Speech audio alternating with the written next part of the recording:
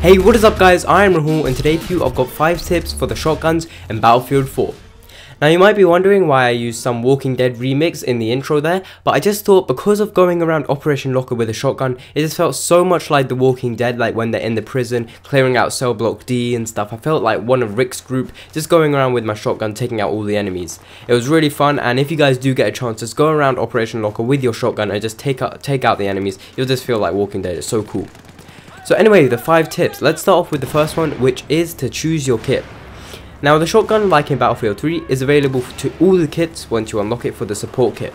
Now I personally always use it for the support kit just because it feels like it should be used for the support kit, but just assess your situation and use it accordingly. So for instance, if you're in a situation where lots of your teammates are dying and stuff, use the um assault kit so you can revive them and heal them up. I should have really been using the assault kit in this um video because we were getting spawn traps. So if i was able to revive a few people we would have been able to push back and get c again but i guess i didn't i wasn't really thinking. If you want to be using the engineer then make sure there's loads of like vehicles and stuff to take out. Then finally the recon where you can actually like put down spawn beacons and stuff to help your team spawn onto you if you're in a nice position. And that would actually be pretty good with a shotgun because you can get right closer and um really like in the combat area because you, with a shotgun you're really good at the close range combat. Now the next tip for you guys is picking the right shotgun. Now there's loads of shotguns to pick from in um, Battlefield 4, there's a few pump action ones, a few semi-automatic ones, and I think again just assess the situation and pick accordingly. Now on the whole I do believe that the pump action ones do perform better than the semi-automatic ones, but depending on your situation sometimes the semi-automatic ones will be better. Semi-automatic ones are pretty good if there's loads of enemies just in a line which you can take out just rapid fire, but then again like I did like um in that first clip in this video I was using a pump action shotgun and because the pump they pump it really fast it does feel like a semi-automatic one. So all the benefits of a pump action ones which of a semi-automatic ones you can get in a pump action one. So um go with a pump action one. The one i'm using here is pretty good but also there's the SPAS 12 which is really nice. The um Hawk 12G, I think it's called, the um, next shotgun after this one you unlock, isn't the best one in the world, but it's decent, but I, on a whole, I do prefer this shotgun. Now the third tip I've got for you guys is picking your shells. Now you got four shells to pick from in Battlefield 4, the first being the buckshot, then the dart, then the frag, then the slug.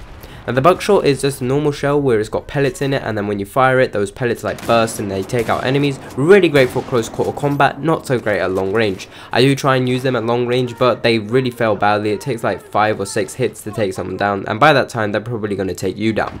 The dart rounds are a little bit greater at long range and they also do like quite a lot of damage if you want to shoot someone through like a wall or wood or something. So they're pretty good but they're not that great at close range so if you want to be using it I would say use it on a conquest match where there's lots of enemies but they're quite far away.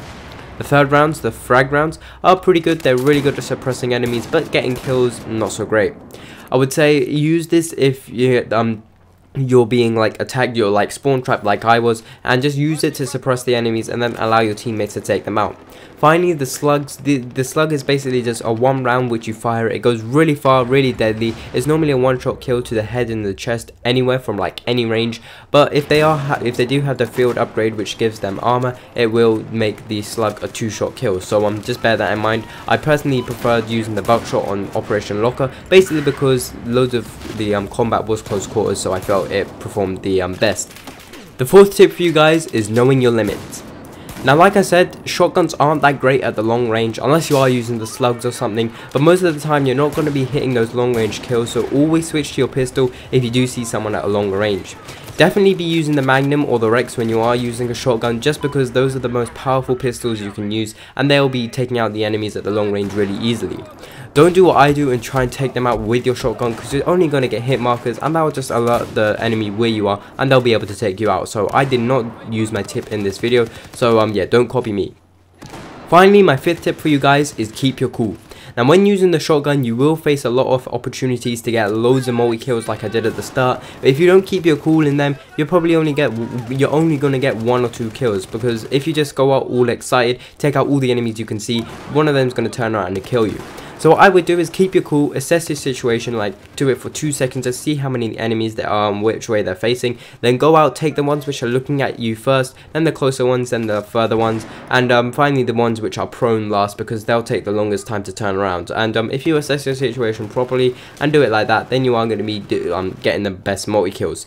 Now because lots of the times with a shotgun, like I said, you will come up with these multi-kills, you got to assess it properly and um, and most of the time it's really easy to assess but just keep that like one or two seconds just to assess the situation because without the assessment you're always going to die and it's not going to be that great for you and your team Anyway guys, these have been my 5 tips for the shotgun um, shotguns in Battlefield 4. Hopefully you've enjoyed this video. If you did, please leave a like. And as always, I'll catch you on the battlefield.